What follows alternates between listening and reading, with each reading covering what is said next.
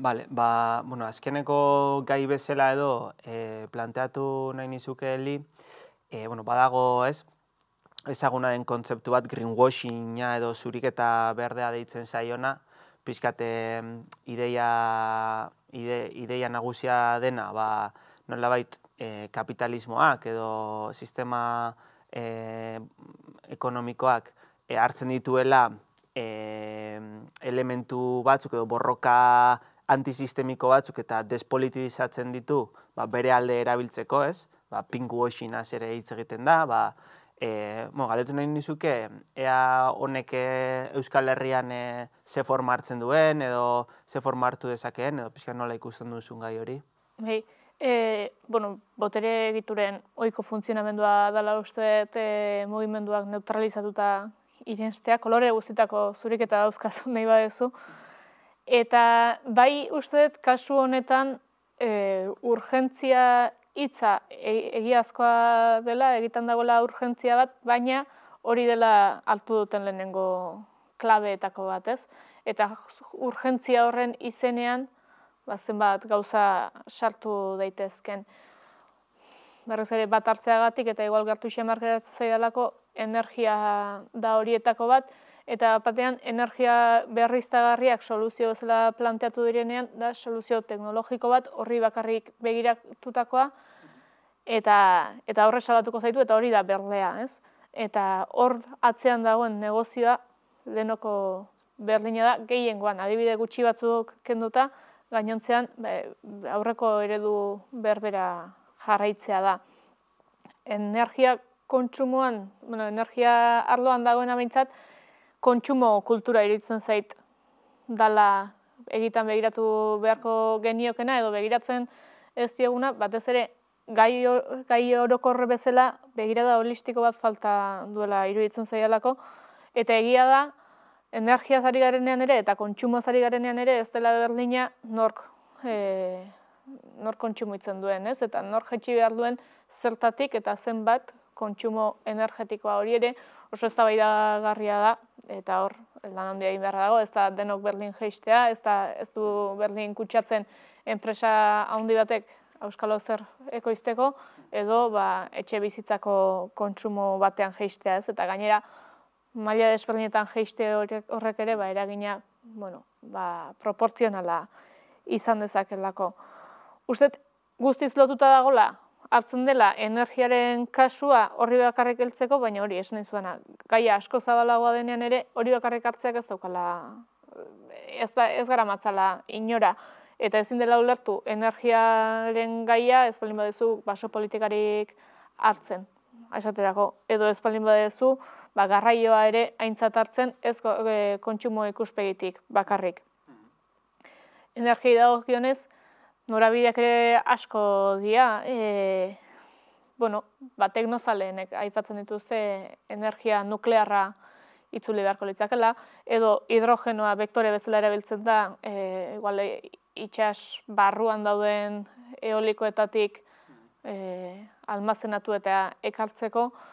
Hori badira soluzioak eta agian izango dira soluzio errealak eta egokienak izango dienak gure hauzirako, Baina uste ezin dela hori bera bere horretan landu. Maila zabalago batetik begiratu behar dela, eta hori egitean, eta gure energia nola sortzu pentsatzen ari garen horretan, bai egiten dugula salto bat egiten dugula, e, saltatu egiten dugu pauso bat, nola baita esateko ez, eta hori izango litzake, iskat, nola zertarako behar dugun energia, nola ze bizi eredutan, ze energia eredutan, mugituko garen. Eta uste hori arriskoa handia dela, e, demagogian erortzeko sekulako arriskoa dagoela, eta ulertu behar dela, ba, bueno, beste egitura batzuen parte dela energia ere. Bai, bai, nik uste, bueno, horrekin eh, esaten duzunaren arira, badagoela operazio bat, eh, nik uste ideologikoa dena, eta da, trantzizioeko soziala, ez, bere dimentsio guztietan eh, ulertu beharrean, murrizten da trantzizio energetiko batera, ez? Hau da, bueno, ordezkatuko ditugu erregai fosilak energia berriztagarriaren gatik, eta arazoa bukatu da, ez? Eta nola baite e, erredukzionismo haundia iruditzen zait, ez? Eta aipatzen zenuenaren arira, uste dut, e, energia berriztagarrietan ere, badago, ez? E, tentsio politiko bat, noski, e, zeinek e, produzitzen dituen, nor jarriko dituen, nork izango dituen e, horren irabaziak, iriaren eta landaren arteko tentsioa, ez? Ma, bueno, hor badaude, ez? Tentsio asko, baina iruditzen zait, e, agian, tentsio gehiago dagoela e, kontsumoaren murrizpenean. Hau da, e, nork laga behar dio autopribatuan e, bidaiatzeari, nork laga behar dio, laga behar dio, nork jan behar du aragi gutxiago, ez, jet pribatuak e, debekatuko dira legez, edo nola egingo dugu, ez, luxuzko kontsumoaren e, e, murrizketa erabateko bat, edo desagarpena ez bada, ez, e, edo adibidez Euskal Herrian bosta aireportu dauzkagu. Egingo dugu planifikazio bat, ez dakit, e, aireportuak e, gutxitzeko edo, ez? Ez dakit, iruditzen zait hor hor dagoela eztabaida bat zabaldu zabaldu behar dena ze e, bestela izango da, ez? Por per, norabait performatzea, ba, energia bereztagarriak instalatuko ditugu eta, bueno, ba, ba, ba hori, ez? E, ja ez egin dugu trantsizio ekosoziala, ez da? Eta hau da, pixkat, nola baita e, zuriketa berdearen gaia berriro hartuz, ez? Hau da, guk eh, planteatu beharko genukena uste dut dela, trantsizio ekosozialak balio behar digu e, botere egiturak e, demokratizatzeko, ez? Hau da, e, bestela kapitalismo berdetik egiten den proposamenean da, bueno, egingo dugu trantsizio ekosoziala baldin eta errentagarria baldin bada enpresentzat, ez? Hau da, e, enpresek etekin bat ikusi behar dute, hau da, kapitalistak, ez? Inbertitu nahi baldu horretan, e, etekin bat eduki behar du. Bestela ez du inbertituko errentagarria ez den zerbaitetan, ez? Eta iruditzen zait oso ikuskera perbertsoa ze e, trantsizio ekosoziala ez da errentagarria izango, ez? Ez guztiontzat behintzat, ez? Eta orduan uste du gainera, ba, bueno, Basque Green Deal eta Green New Deal eta e, proiektu hauek e, atzean daukatena da, ba hori, ez? E, nola baita, Eusko Jaurlaritzak edo Europar Batasunak ematen dizkie pizgarriak e, enpreseri, ez? e, hau da, e, nolabait diru laguntza publikoak, Next Generation eta abar, ba, e, ba, enpresariek, ez, beraien e, interesak ordezkatuak e, ikusi, ikusi ditzaten, ez. Karo, hor dikotomia da, agian enpresarien interesak eta interes kolektiboa, ba, ez direla, ez direla bateragarriak, ez, eta nola, nola kudeatu hori. Eta uste dut, ba, e, pixkat, e, erretorika horretatik ateratzea dagokigula, eta esan, e, ba, bueno, guk ez dugu lan nahi trantzizio energetiko bat, baizik trantzizio ekosozial bat bere dimentsio osoan, ez?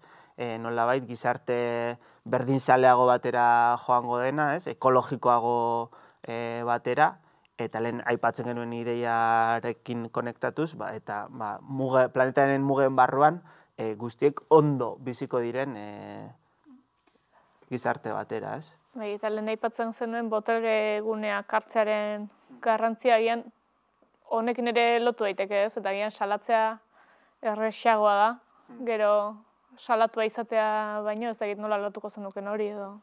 Bai, noski, horrek, a ber, nik e, honek eskatzen du sekulako ardura hartzea, ez? E, are gehiago, e, botere politikoa geroz eta gehiago lortzen baduzu, ba uste dut, e, nola bait, komplexutasunean asko igoko dela hausia eta ezin direla errezeta errazak e, aplikatu ez.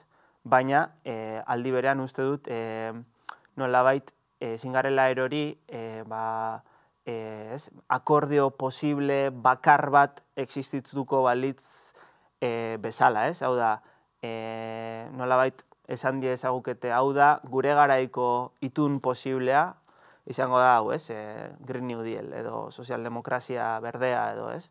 Eta edo edo sartzen zara ona edo kanpoan geratzen zara, ez? Eta uste dut hori dela pizkat txantaje egitea, ez? Nolabait zure aspirazio politikoari uko egin eta onartzea, ba, bueno, ba, nolabait e, e, da, gauzen ordenak jarrai dezala, baina beste modu batean, ez? Eta uste dut, eraldak eta sozialean sinisten dugunok, e, ez ginatekela erori beharko e, horretan, ez? Eta pixkat, e, uste dut, e, garaiek eskatzen duela ambizio, ambizio politikoa, eta eskatzen duela ausardia ere, ez? E, gauza batzuk planteatzerako orduan. Hmm. Bai, ausardia, bai, igual, kontsentsu batekin ere, ez? azkenean, ba, azken aldean ikusi dugu ausardia politiko batzuk ere, eta hor talka egin duenak herriarekin, hor nola lortu bioiek, bueno, bateratxu pentsatzea edo onartuko diren e, proposamenak izatea, edo are herritik datozen proposamenei ere bide egitea, ez? Hor talka handia dagoelako hiri landa eremu horretan, e, proposamen ambiziotxua direlako, baina nundik nora begirakoak ere hori gatazka dagoelako egun. Hmm. Bai, bai, noski, eta uste dut ere e, gatazka horiek agian areagotuko zaizkigula, biderkatuko zaizkigula, baina ezin garela e, ez dakit, ez da puntualetan e, e, ez dakit, katramilatu, ez dakit nola esan. Uste dute garrantzitsuena dela norabidea, e, oso garrantzitsua dela ere e, argi izatea botere politikoa garatu behar dugula eta lortu behar dugula. Eta hemen hartzen du adibidez e, zentzua handia, estatu propioaren ideiak, ez? E, nolabait e, tresna gehiago edukiko genitu, genituzkelako augustiak kudeatzeko, eta era berean e, ba behar dugula nolabait guztia e, eraldatuko duen, edo eraldaketa sozial sakon bat e, nahi duen ambizioa, ez? Nik uste hiru hiru horiek uztartzen baditugu, ez dakit nola egingo dugun hori, baina hortik joan daitezkela, ez? E, soluzio posibleak, ez dakit. Bai, bueno, giro itzen bat zaizu, lan, guereneko ambizio txibili gara gaiak ateratzeko orduan eta e, esango dugu, orokor xamar egin dugula, baina, baina bueno, hemen txutziko dugu eta beste kafe batzuetarako izketa gaiak zabaldu ditugula. Bai, bai, hori da, mi esker. Bueno, ba, eskerrik asko, zuei.